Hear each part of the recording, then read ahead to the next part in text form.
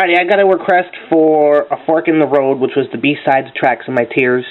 It's taken from the album Going to a Go-Go, and uh, was written by Smokey, Pete, and Ronnie.